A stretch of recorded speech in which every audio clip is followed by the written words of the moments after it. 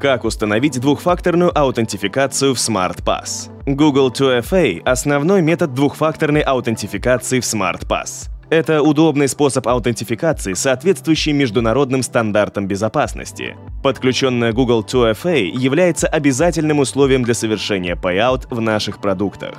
В этой инструкции мы разберемся, как подключить Google 2FA в качестве способа двухфакторной аутентификации. Итак, зайдите в SmartPass и перейдите в раздел Security. Скачайте Google Authenticator на ваш смартфон. Для запуска работы аутентификатора вам нужно отсканировать QR-код в правой части экрана с помощью установленного мобильного приложения. Для этого зайдите в приложение. На первом экране нажмите кнопку Get Started.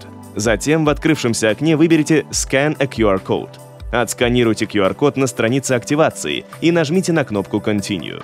После этого в вашем телефоне в приложении Google Authenticator отобразится строка с одноразовым паролем, который обновляется постоянно. Таймер действия кода показан справа от кода в виде круговой диаграммы. Введите одноразовый пароль на странице подтверждения 2FA. Готово! Вы подключили Google 2FA. Обратите внимание, что доступ к QR-коду на странице активации есть только у вас. Пожалуйста, никому не показывайте и не отправляйте его. В случае, если вам потребуется деактивировать двухфакторную аутентификацию через Google, к примеру, при смене смартфона, обратитесь в нашу службу поддержки. Мы рекомендуем вам не откладывать подключение Google 2FA, потому что от этого напрямую зависит ваша безопасность при работе с продуктами Ultima.